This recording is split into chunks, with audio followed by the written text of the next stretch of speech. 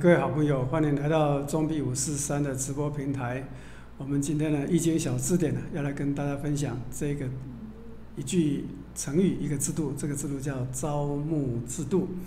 我们常常在鹿港啦、老街啦，或者在台南老街、安平老街啦，或者新竹老街啦、淡水老街一些老宅里面，还有老的宗祠里面，甚至我们到马祖啦、到金门去。看到一些旧式的宗祠，通常在门口或在啊，或者通常在大门的旁边呢，会写两个字，写朝暮，或者是写左朝右暮。所以呢，这个就是所谓朝暮，朝暮，朝暮呢最常见是在宗祠上所见。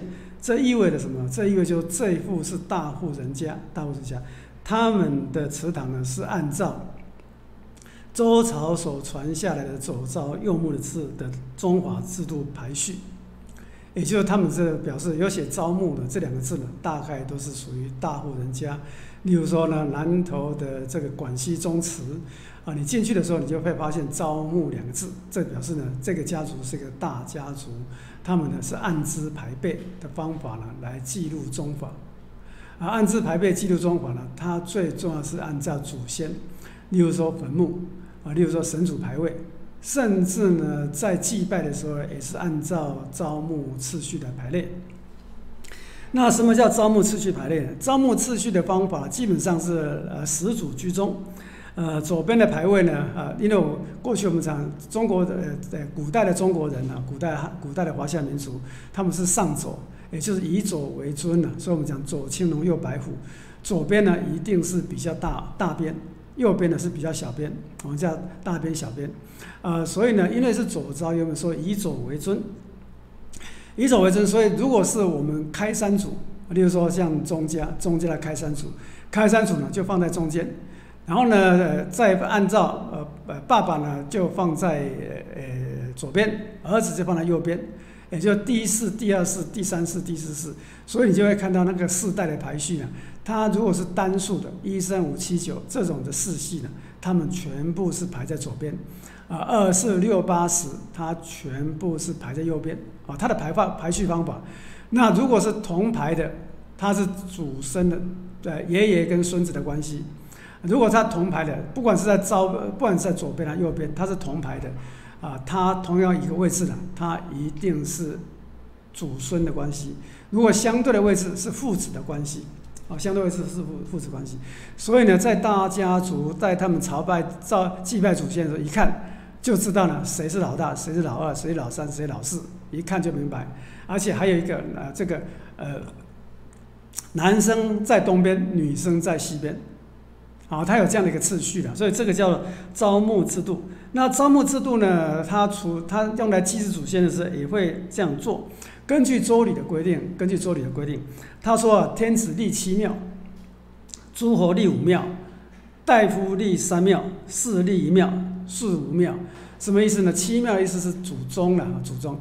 也就如果你是天子，你可以拜前七世的祖宗，第一世、第二世、第三世、第四世、第五世、第六世、第七世，你可以拜七世的祖宗。如果你如果你是诸侯呢，你只能拜五世，拜五庙，就你的你的祭拜方法只有五庙。就是一二三四五，只能只能拜五代。如果是大夫呢，祭立三庙，立三庙就是你从你上去呢，只能立三庙。啊，如果是庶人，如果是士，只能立一庙。哦，士也就是你只能拜老爸，爷爷都不能祭拜，就立一庙。啊，如果庶人，一般老百姓呢，什么庙都不用拜，啊，拜之于寝，只要在寝室里面呢，对空朝拜一下就可以了，连庙都没有。所以呢，在桌里面的庙什么意思呢？呃呃，就是其实就是一个。神主牌位是个庙，然后呢，祭祀的地方，呃，这个呃坟墓也是个庙，啊，一个庙有一神嘛，一个庙有一神。呃，但是如果到第八世的时候怎么办？或第九世的时候怎么办？他们的方法是要把前面除了祖先牌位，除了原主不能动之外，其他要慢慢成为祖先的祖先。也就是这个，就是我们现在在许多华华人系统里面有一个叫做呃，我们讲讲做合炉了。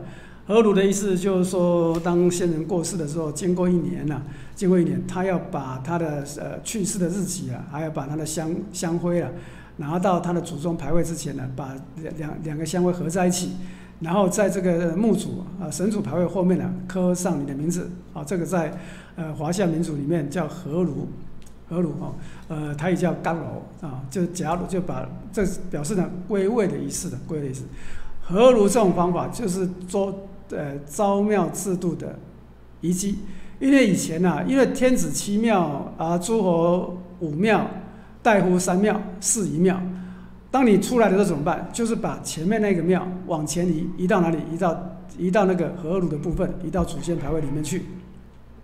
啊，这是以前的这个所谓招募制度的这种拜法。而这个订立招募制度呢，最常见是祠堂。啊，祠堂啊，例如说，假设我们到金门去，或者大陆很多地方都有这种祠堂。在祠堂里面，你就会可以发现它的排位排排列方式，啊，它的排列排方式一定是始祖摆中间，然后旁边的这些排位，特别是客家人的系统就会这种情形，一定是左招右木的排法，在左边呢一定是单数一四二一一三五七九，一定是这个四系，然后，在右边呢一定是二四六八，一定是这个四系。但在这个四系里面，如果你有看到有一个人特别杰出，然后他就再把祠堂移移到外面去，就成立另外一个祠堂。所以常常一个地方有两个祠堂、三个祠堂，同一个性质有两个祠堂、三个祠堂，为什么？因为表示这个家族非常非常兴旺，非常非常兴旺。这是招募制度的由来啊，招募制度。所以招募制度，但是周天子之后呢，这个原来他有严格的规定，但是呢，后来呢就没有那么严格规定，但是大家都会记得招募制度。这时候呢，就变成说，如果是你是有钱的大户人家，那，如果你财力非常雄厚，最重要一件事，兴建祠堂。啊，所以我们到金门去参访的时候，发现，呃，在金门人呢，很多到海外去赚到钱之后，回来第一件事一定是盖公妈公妈厅，也就是一定要建祠堂。为什么建祠堂？表示你财力雄厚嘛。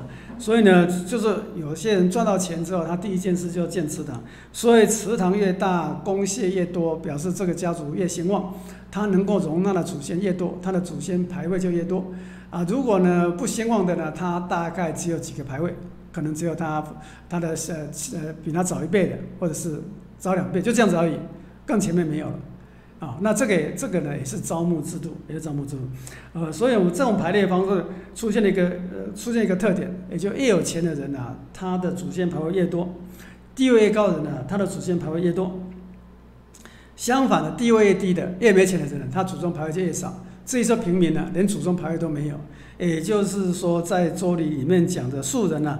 就在在寝室里用手拜一拜就可以的，不要想说庙这些问题啊，因为你没有钱嘛，啊，你没有钱，啊，所以呢，这时候我们就可以看到，那一一世祖，一世祖通常在左边，二世一世祖、二世祖、三世祖，那一世祖中间那个叫始祖，或者叫元祖，或者元祖。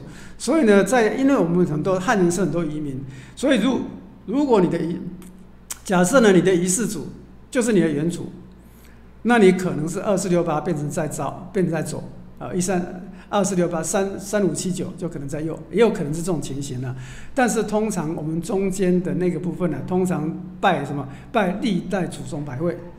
啊，所以我们可以看到很多汉人的呃华夏民族的这个公妈厅了哈，它前面的神主牌位都会写说，呃，例如说姓钟的钟氏历世祖先祖祖先的牌位就放在那里，那表示元祖，然后再一世二世再这样排下来，通常是这种排法。啊，通常是这种排法。那这种排法有有一个什么好处呢？跟因为中呃周朝是这个嫡长子制度嘛，啊周朝是嫡长子制度啊嫡长子制度，所以嫡长子制度这种排法它可以防止兄传弟，可以避免以兄传弟，可以避免了弟弟夺权，可以防止这件事情。那为招的意思，为什么左边是招啊？东招招，因为呃古人相信呢太阳是从左边升上来的，所以呢招代表太阳，木呢是代表傍晚。啊，木代表傍晚，木不代表傍晚，就是呢，当太阳落下去的时候是木，所以通常朝为东，暮为西啊，哈，所以这朝暮之度，所以呢，这个朝呢就是代表龙边啊，代表朝有名义，朝有名义，暮呢在虎边啊，那那暮呢代表什么？收获，代表收获，所以为什么用朝？因为用用木呢？因为跟日出有关呢。跟日出日落有关。古代呢，日出为朝，日落为暮，所以叫朝暮之度。所以呢，东边为朝，西边为暮。所以如果是说一般的呃拜拜，一般的跟主跟跟这个呃呃长辈拜年哈啊，男男生站一边，女生站一边啊，不要站错边，男生站左边，女生站右边，因为左朝右暮。啊，这是周朝礼法制度了啊，周朝礼法制度。那在这里我们可以发现，这个周朝礼法制度有个特质了，这个特质说，如果兄传弟，就牵出现一个问题，如果这个这个地位呢，由哥哥传给弟弟，这时候你就发现弟弟没办法排。所以当他排在祖宗排列，根据左朝右暮的规则，两个兄弟当皇帝，在祠堂当中只能立一个人的名字。也就是说，即使你夺到皇位的时候也没有用，也没有用。所以招募制度，我们可以看到，在周朝的世系里面，就有一个兄兄终弟及啊。例如说，周昭王，周昭王是周西周皇帝第四代了，第四康王后面第四代。周昭王传给周穆王，穆王之后共王，共王之后传给义王，义王之后传给夷王。但是这里头有一个叫周孝王没有在里面。为什么周孝王没有在里面呢？因为周孝王是共王的弟弟。共共王呢，把地位传给他弟弟周孝王。周孝王因为呃周孝王去世的时候，又把地位传回给共王的儿子叫义王。但是呢，共王跟孝王呢，他们都都是在同一边。根据招募制度，不能这样排，这样排就违背礼法。所以呢，在周朝的宗法制度里面呢，只有周，只有呢周，呃，只有呢呃周共，只只有只有共，只有呢呃少了一个天子。只有周共王，但是没有周孝王。为什么？因为他是以兄弟相传的，所以因为这个制度里头，你就会发现问题了。如果弟弟要夺权呢，只有一个方法，就是哥哥这一系断绝、断世，没有后代，没有的，没有后代，这时候就必须要从您近支的兄弟里面去找个继承人，找个继承人。那这个这个方法就可以保证嫡长子制度呢，一直一直传下去。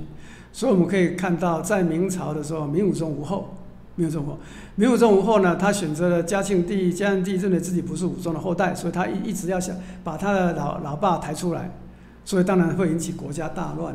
也就招募制度呢，它有几个用意的：第一个可以保证嫡长子制度呢能够一直传下去；第二个，它可以防止旁系的兄弟呢啊出来夺位；第三个，它可以让让这个家族呢啊知道了这个辈分的重要性。辈分的重要性，啊，所以呢，那呃，这个招募制度呢，慢慢的就平形成排辈分。我们常常讲论资排辈了，啊，论资排辈这个成语就是来自于招募制度。而在很多家族里面，它会有排辈分，排辈分那个书呢，就叫做叫做招募师，招募师。那招募师呢，通常是从伦理里面，或者是从这个道德经里面，从经典里面找出字。啊，这一次呢，通常是五个字一句，五个字一句，五个字一句，有时候是七字一句，七字一句，那辈分就按照这个排，啊，辈分就，呃，就按照按照排，啊，这个辈分按照排，啊，如果这个辈分用排完了之后怎么办呢？就由当时排完之后呢，啊，就有呢排完的那个找到一些非常有学问的大家去研究。研究完了之后排排出个辈份，排出个辈分然后之后呢，然后在祖先排位之前呢，来请示神明这个辈份行不行？如果这样行的话，就继续再排啊，继续就继续再排。所以我们可以看到，而且这个呢写辈分要用红字，所以呢这个招募书啊排辈分的这个书籍，大部分都是写在红写在呢这个红呃红色的。红色春联纸上面比较多了，比较多，所以今天我们跟大家分享这个非常特别的华夏民族的制度，叫招募制度。感谢大家收看。